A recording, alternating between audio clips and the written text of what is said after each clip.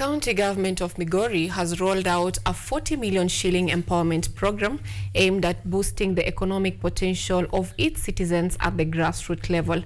The program promises financial grants to formal groups in all 40 wards of the county. Brenda Nyongesa with more. Migori County is embarking on a major empowerment initiative under its County Economic Empowerment Plan.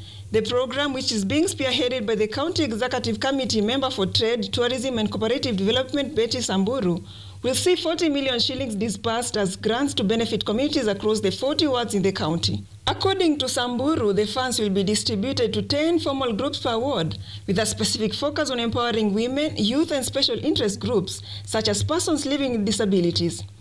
Each ward has been allocated 1 million shillings with a breakdown that ensures 50% of the beneficiaries are women, 30% are youths, and 20% come from the special groups. Um, we are targeting 50% women, 30% youths, and 20% special groups, including people living with disability. In the committees, we had a, a, youth Gen Z representative in each of the wards. We had a person living with disability representative in the committee, and we had women in the committee. Each ward has been allocated one million to benefit the ward. He said this is a world-based program at the grassroots and meant to benefit the very vulnerable and down there at the group. Recruitment is already underway at the ward level with committees working to identify the groups that will benefit from this initiative.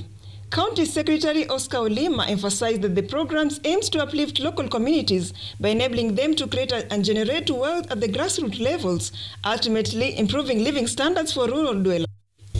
This was has been executed through uh, a bill that was passed in the assembly to empower and give uh, uh, financial empowerment to various communities and various groups within the county.